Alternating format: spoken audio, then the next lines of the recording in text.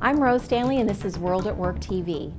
I'm joined today with John Bremen and Teresa Hopke. We're hearing more and more about some organizations that are really focusing in more on the employee experience. Can you tell me a little bit about what those organizations are really looking at? John, let's start with you. Sure. I think when companies talk about the employee experience, they are talking about creating an environment for their employees that transcends individual programs and weaves together a differentiated experience than what they might have at another company.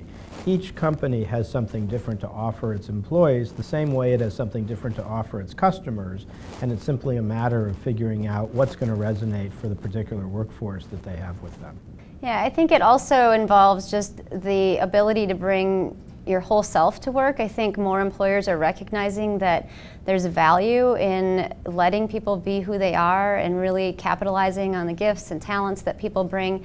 But in order to do so, you have to be more authentic and transparent and um, you know, as MasterCard says, to bring your heart and your mind to work. And I think that there are more organizations like MasterCard out there that are really realizing that we've lost some of the heart in work and we have to get that back in order to have better organizations. What do you think is prompting this type of, of thinking in these organizations? I think the main thing is that we're seeing people who are burnt out and disillusioned and overworked, and we're seeing that this isn't a sustainable model. We've really marginalized the um, focus on people, and we, it's been okay for us to put programs in place to try to help people out and, and really take a more siloed approach at the way that we're looking at human capital. And I think CEOs are realizing that they can't put it in a box and set it aside anymore. They actually have to unleash the potential of their people by caring about them and creating that differentiated experience that John's talking about. And so I just think that too many organizations are seeing the impact of the approach we've taken and the negative impact that it's created.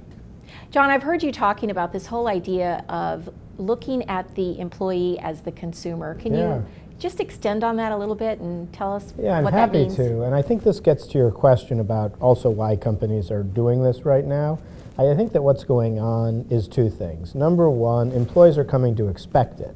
And with different generations, with different levels of experience, with a more technology focused, interconnected world, I think our employees are expecting their companies to provide them with the same kind of experience that they get from other institutions with, with, with whom they're associated. And employees now have choices in where they can work. We don't talk a lot about the scarcity of talent that exists today for many key jobs, but the reality is employees really have a lot more choices today than they used to, and I think companies are having to really respond to that. I think the other thing also that's going on is that companies now have an ability to do this. I think this would have been really difficult 10 years ago, 20 years ago, because companies just did not have the data they needed in order to even understand what the employee preferences are or to deal with several different types of, of needs and preferences or four different generations. This is, this is a relatively new concept that's enabled largely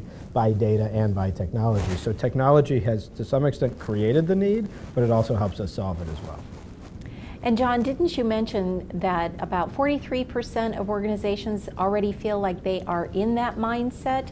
But for those organizations that really aren't there yet, what would you be telling them that they really need to start honing in on? Yeah, and it's a tricky situation, right? Because 70% of employees would like this, but only 43% of employers are providing it. I, I, think the advice, first and foremost, is to start listening to employees about what they need. A lot of companies are afraid to ask employees what they need, but uh, the reality is having that information sort of unleashes the potential of the programs. And just as Teresa said a minute ago, asking employees and understanding what they need allows the company to find ways of having employees bring their authentic selves to work. And that, that really is the first step.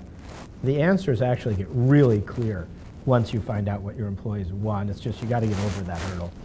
And Teresa, I know that uh, just as John said, some organizations are a little fearful of perhaps doing um, surveys to find out, but uh, how, how would you talk about employers that can embed some good questions into their engagement surveys or employee satisfaction surveys that really helps them understand the needs and the wants? Because what the organizations think the employees want a lot of times turns out to not be so. Yeah, I think that instead of just asking about programs and um, monitoring utilization, we need to be asking people about what is missing, what is missing in the experience that they have, what do they, we need to be asking more questions around the experience. What experience would you like to have? And that's going to be a shift in language and mindset for employees as well, because they're not used to being talked to in that way. They're not used to somebody caring about the experience that they have.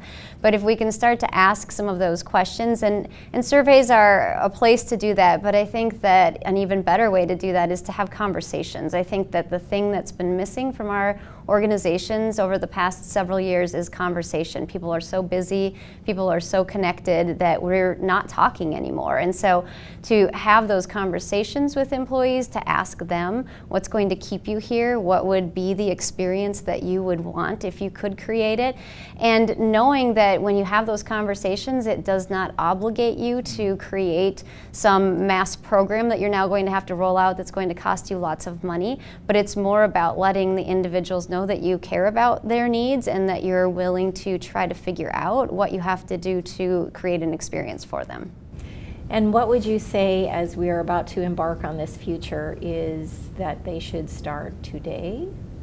Or is there an urgency about this? Yes, absolutely. I think that the sooner that companies can shift their mindsets around this and begin to, I mean, today, just to start thinking differently about the employee experience and to think that employees should have an experience, that we should start looking at consumers and employees as um, equals. And it's not just about our customers, our clients, our consumers, but it's about our employees and the importance there that they will then deliver the value to those other um, constituents. I think you can't start soon enough.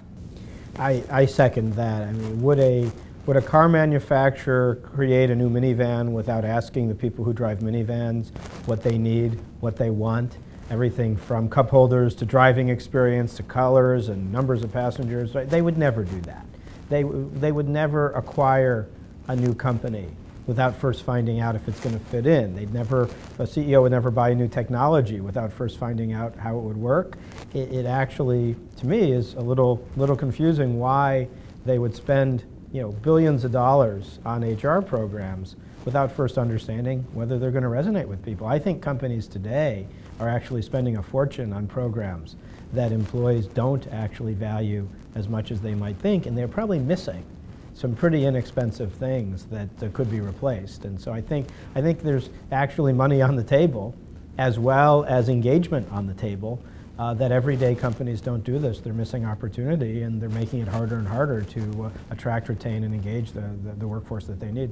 I think if organizations ask today, I think they'd be pretty surprised to learn that programs aren't what employees want and they could be saving a lot of money on programs and by asking the question and caring that they are going to be able to shift the way that they invest in their talent. Great thoughts. Thanks, John. Thanks, Teresa. Thank you. Thank you. For World at Work, I'm Rose Stanley.